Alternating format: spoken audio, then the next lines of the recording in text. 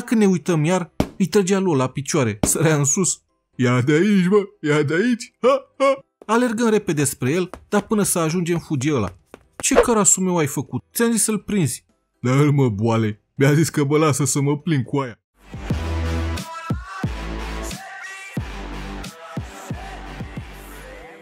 Înainte să trecem la poveste, vreau să fac un mic anunț. Mi-am făcut canal de gaming, frate. Canalul se numește GG Gaming. Pe scurt, GGG. Și acolo ne jucăm, nu ne jucăm, frate. Pe canal voi posta eu, sper de două ori pe săptămână, iar restul zilelor dilimache. Deci vom avea conținut nou în fiecare zi. Găsiți canalul undeva aici pe sus, în descriere sau în comentarii. Mă bazez pe voi să mă ajutați cu un subscribe și acolo. Și poate postez primul episod săptămâna asta. Hai să trecem la poveste. Hai salut, eu sunt Gigi. Băi frate, în copilăria noastră nu râdea nimeni de tine dacă erai îmbrăcat mai sărăcăcios. Nu frate, nu exista așa ceva. Majoritatea copiilor erau săraci, purtau haine croșetate de bunicii de la țară, rupte și peticite în genunchi și coate, cu sute de 3-4 ori, iar cei care aveau frați mai mari nu prea vedeau hai de noi, le purtau pe cele rămase de la frați, unii chiar și de la surori, cum era morlocul.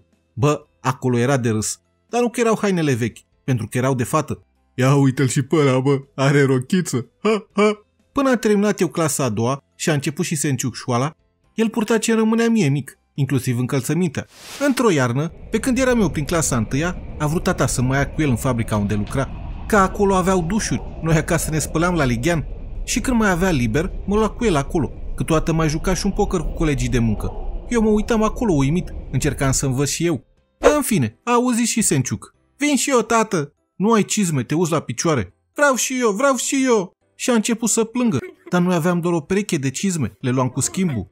Până la urmă a vrut tata să le ia pe Senciuc, dar am început să plâng eu, așa că până la urmă am luat eu cizmele, pe Senciuc i-am fășurat mama niște prosoape pe picioare, i-a dat lui tata niște tenis să aibă să-i dea acolo, de schimb, și a plecat cu el în spate. Afară era urgie, frate, zăpadă de jumătate de metru și viscol ca în povești, parcă te biciuia cineva pe față. Și cum v-am spus, nu râdea nimeni de tine dacă aveai haine mai vechi, mai rupte, dar râdeau de tine dacă n-aveai jucării. Copiile din vremurile alea puteau fi împărțiți în două grupuri mari, cei care erau săraci, adică marea majoritate, și ceilalți, care evident erau mai puțini. Noi, săracii, ne jucam cu ce apucam. Cu noroi, cu bețe, pământ, pietre, ne urcam în copaci, făceam de toate. Ceilalți, în schimb, de obicei întindeau o pătură în fața porții și se jucau acolo, fetele cu păpuși și băieții cu mașinuțe. După cum știți, pe stradă la noi nu erau mulți copii de vârsta noastră. La început erau doar Mucea și Morlocul, dar pe stradă la Mamaia din cartier era altă treabă. Eram vreo 15 copii și ăștia sărăntoși ca noi, că mai erau 6-7 cu părinți mai înstăriți. Atenție! Copiii de bangata, de care vorbim în povestea de azi, nu erau nici pe departe ca copiii de bangata din zilele noastre. Nu, frate. Dar pe lângă noi, care trăiam la limita sărăciei, așa păreau. Și ni să-i confundăm cu șmecherii de bangata. Aia era o altă mâncare de pește. Și cum ajungeam acolo, mai ales dacă veneam după o zi ploiasă, ne aruncam ca porci în noroi. Pentru noi era cea mai tare joacă. Ne băteam cu noroi, alergam prin noroi. Ce mai frate, eram plin din cap până în picioare de noroi. Copiii de bani gata stăteau curați pe păturica lor acolo, nici nu se apropiau de noi. N-aveam nimic cu ei, dar de fiecare dată când treceam pe lângă ei, începeau să râdă, fetele să chicotească și fătălăii să arate cu deștul spre noi. Aveau o aroganță în privire, se credeau superiori. Noi nici nu-i băgăm în seamă, dar încet, încet, la fel ca picătura chinezească, parcă rângetele și privirile disprețuitoare începeau să sape în subconștientul nostru și fără să ne dăm seama am început să-i urâm. Erau inamicul. Într-o zi de primăvară, însorită, dar după vreo două-trei zile de ploaie, eram cu Senciuc la mama aia acolo pe stradă. Acolo eram la joacă cu Florin și Ionuț. Construiam niște castele din pământ. În zilele mai însorite, când pământul era uscat, săpam toată ziua pe stradă și mai găseam un pământ sârme, bețe, diferite chestii pe care le foloseam ca jucării. Făceam soldați din pământ, iar din chestiile găsite arme, tunuri, tancuri, ce ne bășea și nouă mintea. Și facem noi două castele, că ne jucam doi contra doi. Ne facem și soldați și mergem la masă. Când ieșim, stupoare, frate. Castelele și ce mai aveam noi pe acolo erau călcate în picioare. Cineva îndrăznise să-și bage ceva în toată munca noastră. Noi au fost fătălăii. Așa îi numeam pe cei doi trei băieți care se jucau cu fetele pe pătură acolo. Fătălăi. De unde știi, Florine? Da, mă, poate au fost alții. Cine? N-avea nimeni curaj. Ei au fost. Las că aflu eu. Vorbesc cu Andreea. Nu, vere, nu aduce pe capul meu. Trebuie să fim siguri. O chem la noi. Andreea era o vecină de-a lor. Stătea cu copiii de bangata. Da, îi plăcea de Florin. Și eu nu ți-o mai folosea ca spion. afla mereu de la ea ce zic ea de noi. Se duce Ionuț, o aduce pe Andreea și vomita ea tot. Era mâna fătălăilor, într-adevăr. Dar mintea diabolică din spate erau două fete. Astea stăteau aproape de colț și acolo erau și locul unde se jucau. Bă, în perioada aia eu aveam vreo 9 ani, deci nu prea le aveam eu cu bătaia. La fel nici Ionuț și Senciuc. Ne puneam toți baza în Florin. Bine, că de da cu picioarele acolo la grămadă și doi-trei pune aruncați orbește, eram în stare. Dar Florin știa să dea. Toți îl știau de frică. Pleacă Andreea și acum ne gândeam cum să ne răzbunăm, că nu puteam să ne ducem în poartă la ei să-i batem, mai ales pe fete. Luăm noroi și aruncăm pe ei. Luăm și îngăletușe să-i stropim bine. Nu, le trebuie o lecție bună. Nu putem să-i batem. Nu mă, am un plan, fiți atenți. Bă, n-avea treabă Ionuț cu bătaia, dar l-a făcut planul era cel mai bun. Era și mai mare cu vreo doi ani ca mine. V-am zis, nici eu nu eram cine știe ce. Cu Senciuc ce mai făcea întrânte și cu Ionuț ce mă mai luam câteodată la harță. Mă duc acasă. Mai stai, prostule.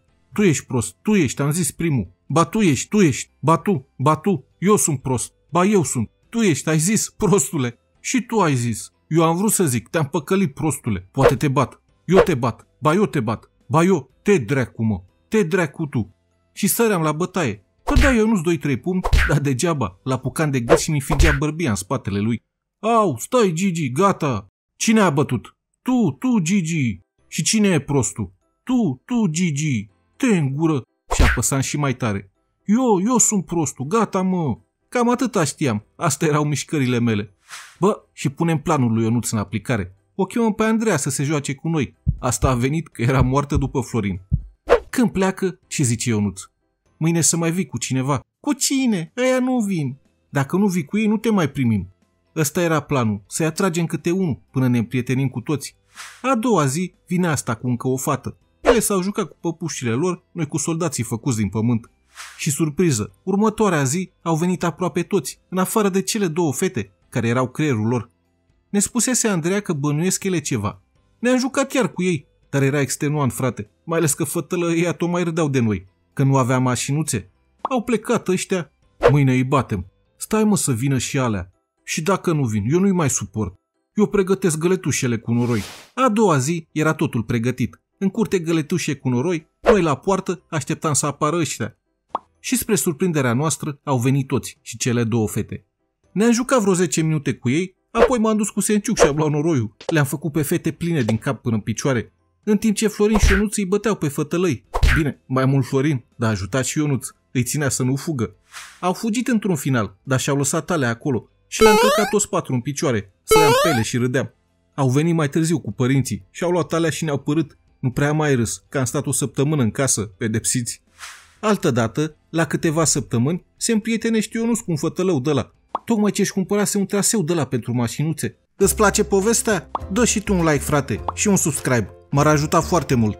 Răspunsul la quizul de data trecută era ce? O sticlă de suc și două pungi de semințe. 10 comentarii alese aleatoriu sunt acum afișate pe ecran. Vrei să ai și tu o șansă? Fii atent la următorul quiz. Unde s-au bătut Costel și Morlocu? A. În parc B. În școală sau C. În grădiniță. Lasă răspunsul repede în comentarii. Ai 5 secunde.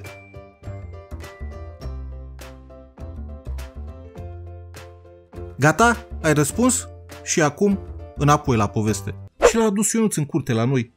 Și începe ăsta să se joace. Avea la el vreo șase mașini. Se juca el cu patru și două îl deduse lui Ionuț. Se joacă doar ei?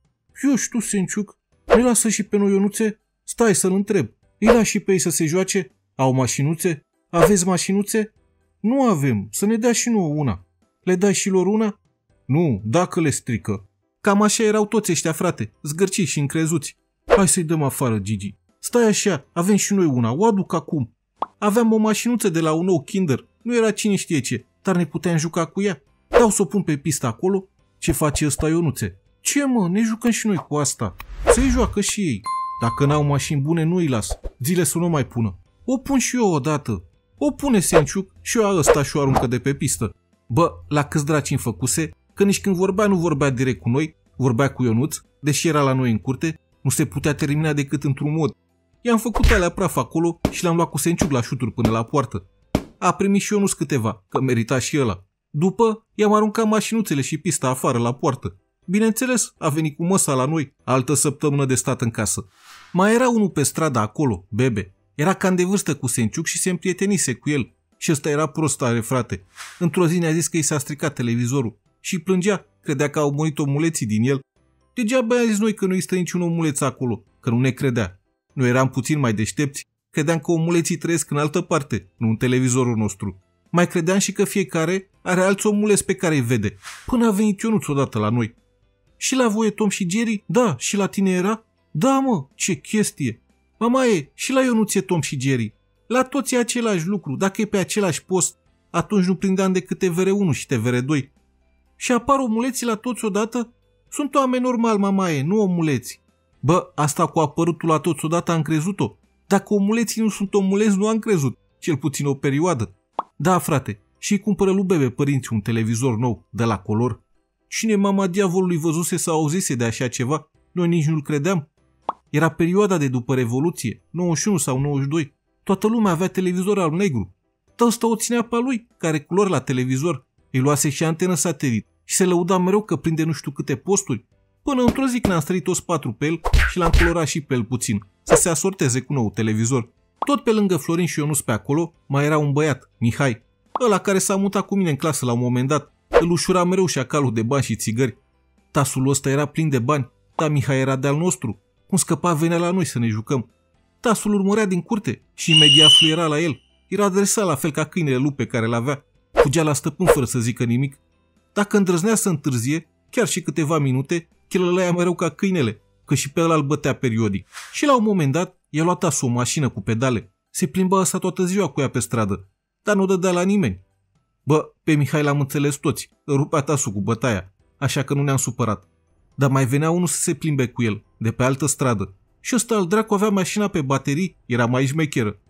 Noi patru ne uitam ca proști la ei. Ne visam toți la volanul unei mașinuțe ca alea. Vreți să vă plimbați și voi? Da, nu dai?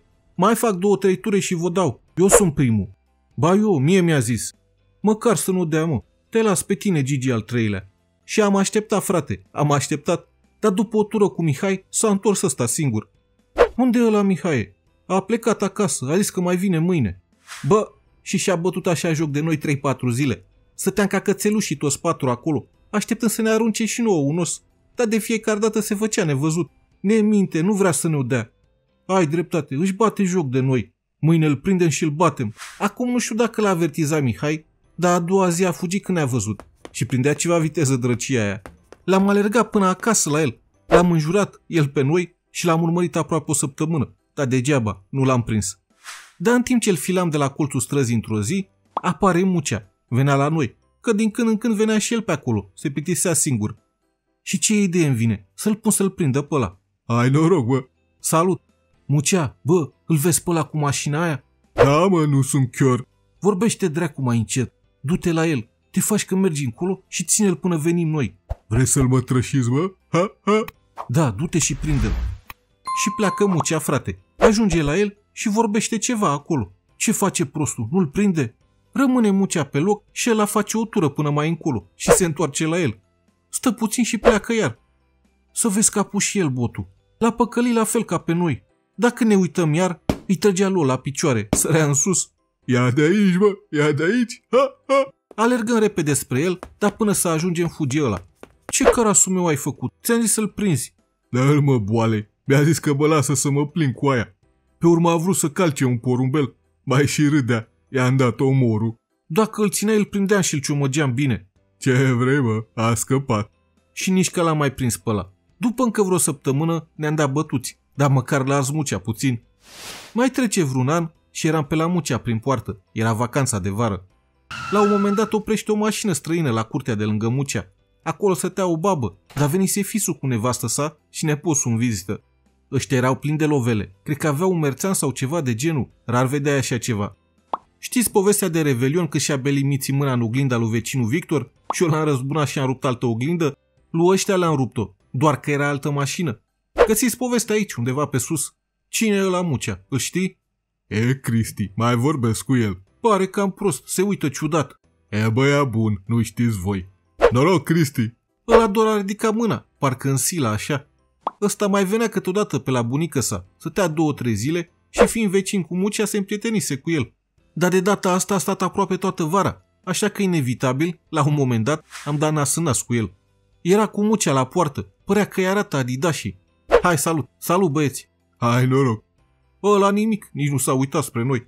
Mă duc să mănânc ceva, dacă îți plac, ți dau ție. Mai întrebi? Cum să nu?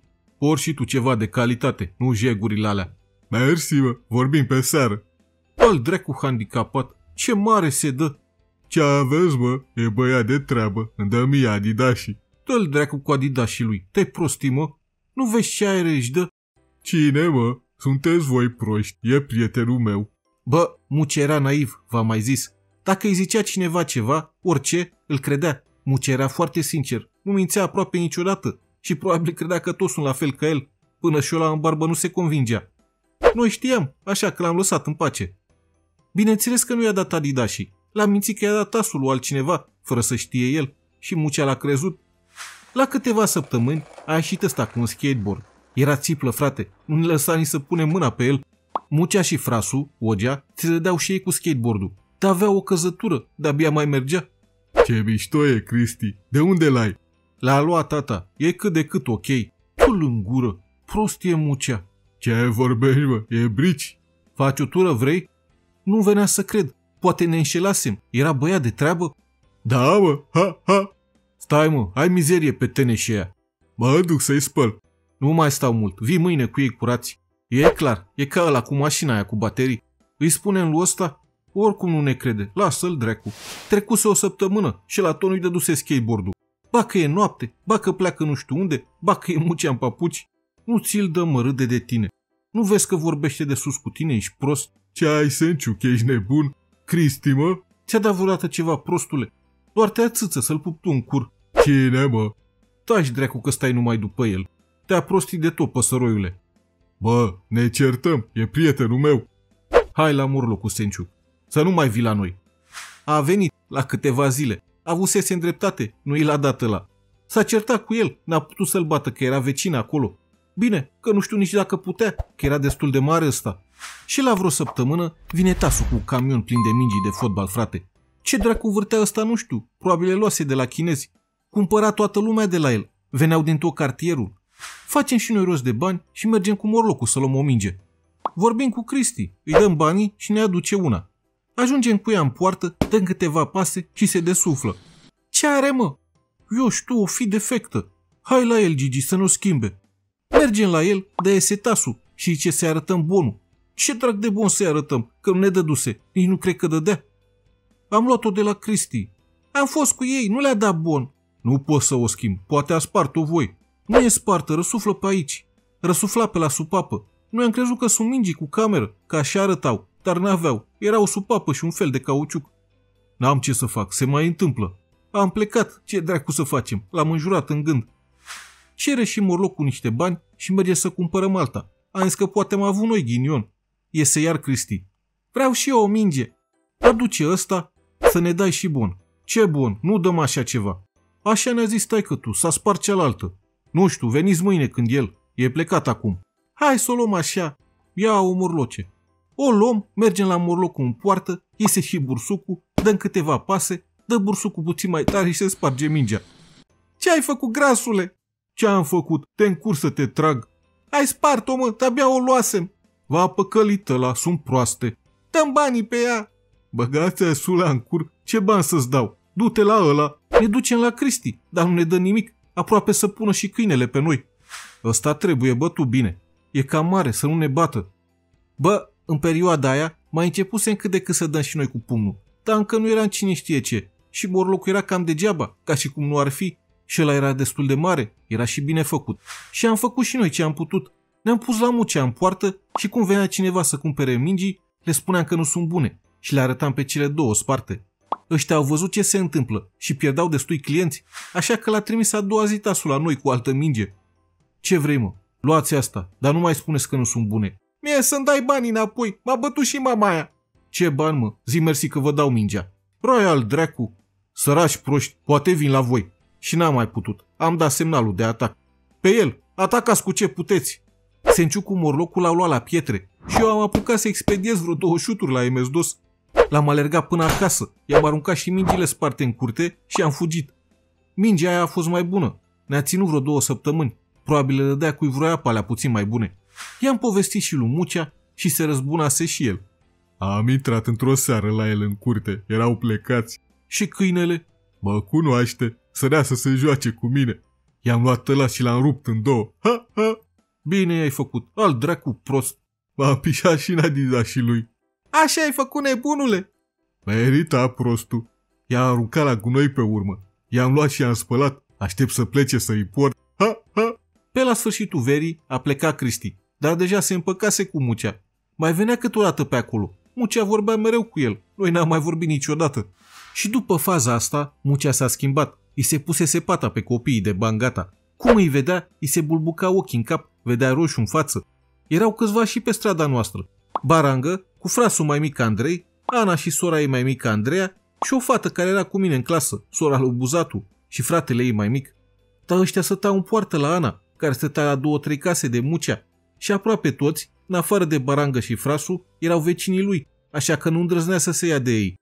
În schimb, pe strada lui Bobiță erau mult mai mulți copii și mult mai mulți copii de Bangata. Erau vreo trei grupuri pe strada aia și de fiecare dată când treceam cu Mucea pe acolo, le călca pe păpuși, pe mașinuțe, mai sărea câte unul cu gura. Te spun lui tata, prostule! Ia de aici, ia de aici, bă! Ha, ha! În scurt timp, cum îl vedeau ăștia pe Mucea, o tăiau în casă. De multe ori lăsau pătura cu jucările la poartă. Dacă stau să mă gândesc bine, probabil de aici și început răca dintre el și Bobiță, ducând într-un final la un război între noi. Găsiți poveste aici, undeva pe sus. Da, frate, mai era problema cu grupul de pe strada noastră, că erau proastele alea două, Ana și Sorsa, și fratele lui Barangă, care râdeau mereu de noi când treceam pe acolo. Nu toți erau așa, că Barangă, fata care era cu mine în clasă și fratele ei mai mic, erau foarte de treabă, erau crescuți altfel, aveau probabil și alt caracter, că numai educația contează. Barangă nu comenta niciodată, în schimb frasul era cap de linie. Trecea cu Senciuc și Mucea într-o zi. Plecam de la Mucea de acasă și ne îndreptam spre noi. Când începea la două să râdă. Și Andrei arăta spre noi. Era Mucea în picioarele goale, care rămăsese fără papuci și era și vară.